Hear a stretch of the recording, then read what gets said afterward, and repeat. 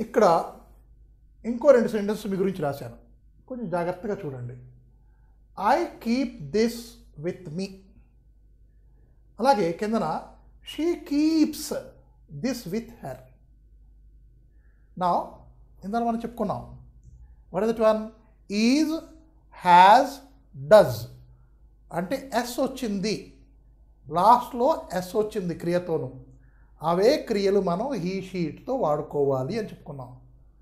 అయితే ఇక్కడ క్రియకి ఎస్ తగిలించాలి బికాస్ హీ షీట్లో షీ అనే పదం ఇక్కడ ఉంది కాబట్టి అది చేస్తుంది కాబట్టి అక్కడ మనం ఎస్ అనేది మనం పెట్టుకున్నాం. అంటే ఏంటి ఇక్కడ అబ్జర్వేషన్ ఏంటి మనం చేయాల్సిన అబ్జర్వేషన్ ఏంటంటే హీ షీ ఇట్ ఈ మూడు కానీ ఇక్కడ కర్తగా ఉంటే ఆ తర్వాత వచ్చే క్రియలో ఆకర్ణ ఎస్ ఉండి తీరాలి. Because last time I have shown the theory why S has to be used ఈజ్లో S ఉంది డజ్లో ఎస్ ఉంది హ్యాజ్లో ఎస్ ఉంది కాబట్టి ఏ క్రియ వచ్చినా సరే దీని తర్వాత మనం ఎస్ వాడుకోవాలి. అది వర్తమాన కాలాన్ని చూ సూచిస్తుంది. అది వర్తమాన కాలాన్ని సూచిస్తుంది. అంటే ప్రజెంట్లో జరిగే పనిని. The work which is being done presently that is said in this sentence using she as the subject keeps as the verb. Why s? Because I have shown you is is, has does does. There, those three we are using with he, she, it. Then, in present tense, wherever we are using a verb, whatsoever is the verb, with the verb we are using s or es, as the case may be. She keeps this with her. He keeps this with her. Sorry, it keeps this with her or it. He keeps this with him or her, whatsoever. That way we can use he, she, it with s. Here, if you see, I keep this with me. You keep this with me. We keep this with me or with us, with you, or they keep this with them అట్లాగా there is no change here only కీపే పెట్టాం S పెట్టలేదు. అది continuation దానికి మనం continuation రాసుకున్నాం ఇక్కడ. ఇప్పుడు మనం ఇంకో పదాన్ని అంటే ఇందాక చెప్పిందే కానీ ఇంకొంచెం వివరణగా చెప్పుకోవాలంటే ఇంకో పదం ఉన్నది హ్యావ్ అన్నది. దీని యూసేజ్ కూడా మనకి వివిధ రకాలుగా మనం ఉపయోగించుకుంటాం. అంటే దాని పర్పస్ ఒక సెంటెన్స్లో వస్తే దాని పర్పస్ ఏమిటి? ఎట్లాంటి పర్పస్లో మనం ఉపయోగించుకున్నాం? హ్యావ్ అన్నది. అది మనం ఇప్పుడు చూస్తాం. So I can write a sentence for you I have two pens here this have ఈ హ్యావ్ శబ్దం ఉంది కదా? ఇది కలిగి ఉన్నాను అని చెప్తోంది. అంటే నా దగ్గర ఏమిటి ఉన్నది? దాన్ని వర్ణిస్తోంది. I have a shirt I have mustaches I have spectacles right have అన్నది అంటే ఏంటి నా దగ్గర ఉంది వీరి దగ్గర ఉన్నది వాడి దగ్గర ఉన్నది నీ దగ్గర ఉంది ఆమె దగ్గర ఉన్నది అని చెప్పడానికి మనం ఈ హ్యావ్ అని చెప్పగలం హీ షీ ఇట్లో అయితే హ్యాజ్ ఉపయోగిస్తాం she has she has two brothers has అని ఉపయోగించుకున్నాం కలిగి ఉన్నది ఆమె ఇద్దరు అన్నదమ్ములను కలిగి ఉన్నది అని చెప్పుకున్నాం she has two brothers I have two books you have two houses అట్లాగే మనం ఒక వస్తువుని ఈ దీంతో కలిపినప్పుడు సంబంధం చెప్పినప్పుడు హ్యావ్ అనేది వాడే మనం. కదా? తర్వాత ఒక క్రియ జరుగుతోంది. ఒక పని జరుగుతోంది. ఆ జరిగినప్పుడు మనం ఇది ఉపయోగించుకోవచ్చునా? ఎస్ చూడండి. వీ హ్యావ్ డన్ దిస్ ఇక్కడ కూడా హ్యావ్ వచ్చింది. వీ హ్యావ్ డన్ దిస్ దీనిని మేము చేసి ఉన్నాము. ఎప్పుడు? ఇప్పుడు జస్ట్ ఇప్పుడే పని కంప్లీట్ అయ్యింది దాన్ని మనం ఇట్లాగా హ్యావ్ జోడించి మనం చెప్పుకుంటాం. ఈ డన్ ఎక్కడి నుంచి వచ్చింది? మనం ఇందాక చెప్పుకున్నాం డూ డూయింగ్ ఉంది కదా? ఈ డూకి డిడ్ అనే ఒక పదము డన్ అని ఇంకో పదము ఉన్నాయి. డూ డిడ్ డన్ ఇది ప్రజెంట్ టెన్స్ అనుకున్నాం ఇది పాస్ట్ టెన్స్ అనుకున్నాం ఇది పాస్ట్ పార్టిసిపుల్ అది గ్రామర్ ప్రకారంగాను.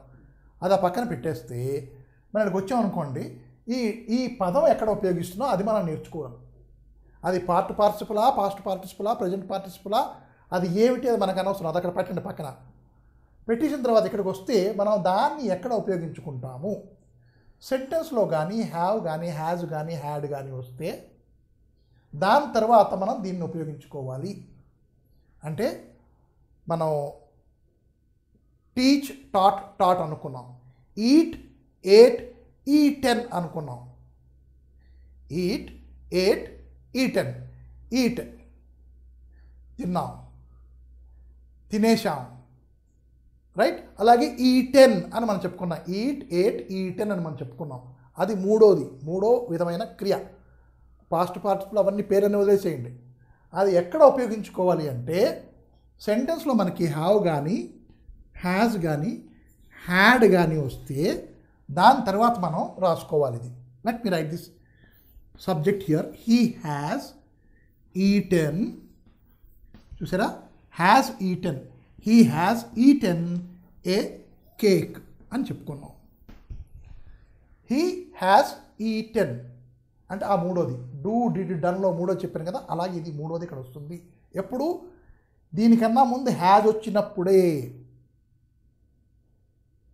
దీనికన్నా ముందు హ్యాజ్ వచ్చినప్పుడే ఇది వాడుకున్నాము.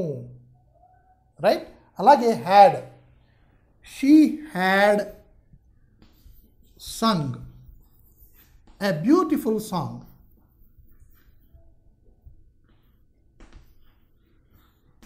she had sung a beautiful song అని చెప్పుకున్నాం ఇక్కడ. అంటే what is this sung sing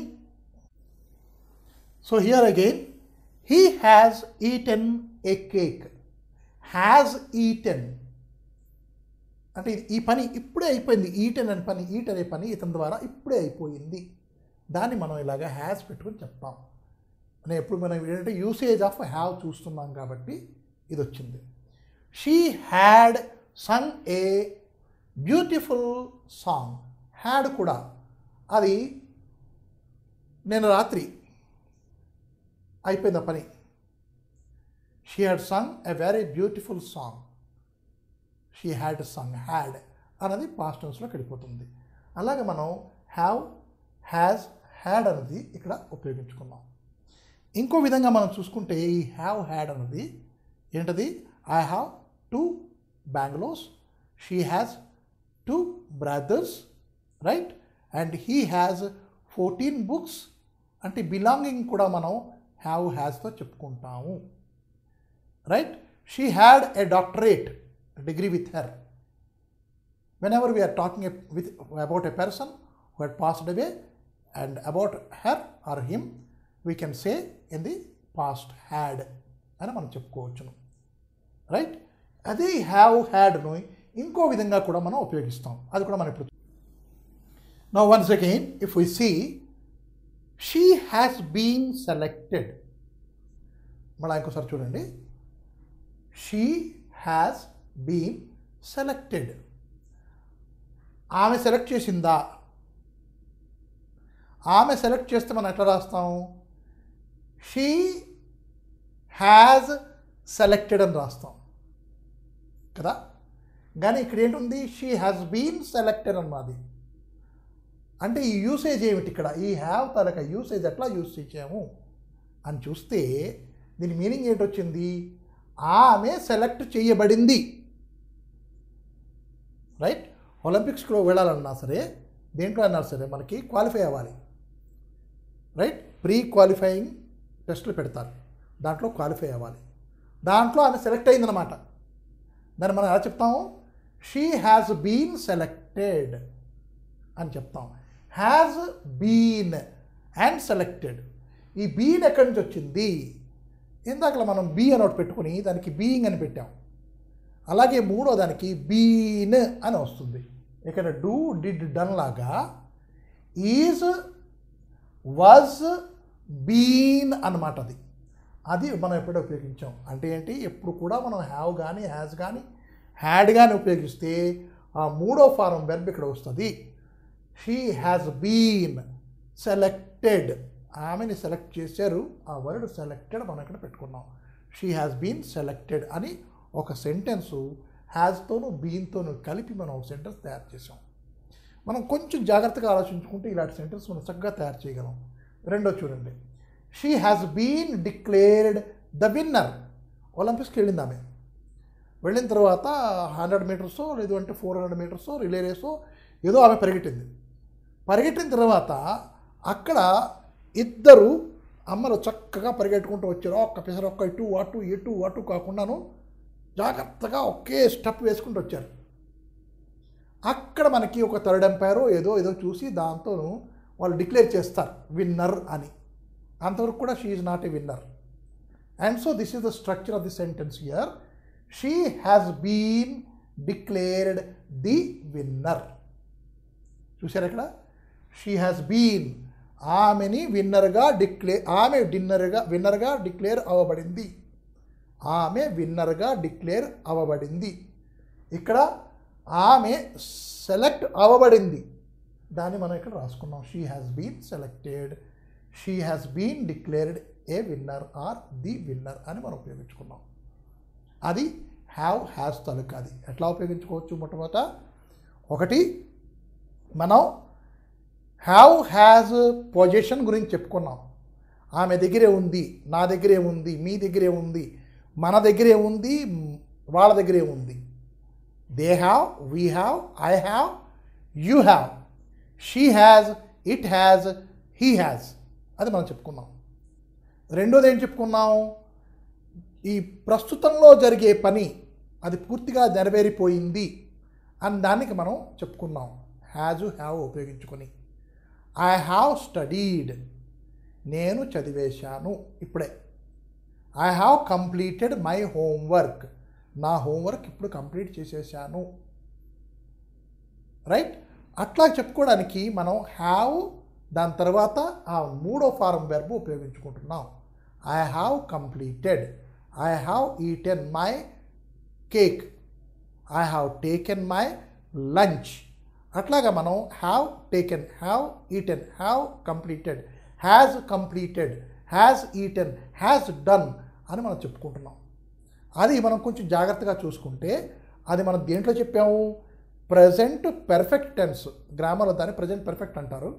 and ఏంటి? ఇప్పుడే మనం కంప్లీట్ చేసిన వర్క్ని ఎలా చెప్పాలి అంటే I have completed this figure I have completed this planning I have completed this drawing అని కంప్లీట్లోనే మనం చెప్పుకున్నాం. I have completed you have earned a lot you have earned a lot నువ్వు చాలా మంచి పేరు సంపాదించుకున్నావు. అంటే ఇప్పుడే ప్ర ప్రస్తుతం ఇప్పుడే అయిందని హ్యావ్తో మనం చెప్పుకున్నాం. అలాగే దే హ్యావ్ ప్లేడ్ ఫుట్బాల్. వాళ్ళు ఫుట్బాల్ ఆడేశారు. ఇప్పుడే కం ఇప్పుడే కంప్లీట్ అయింది. ఇప్పుడే కంప్లీట్ అయిన పనిని మనం హ్యావ్ హ్యాజ్ పెట్టుకొని దాని తర్వాత మూడో ఫారం వెర్బ్తో పెట్టుకొని మనం చెప్తాం.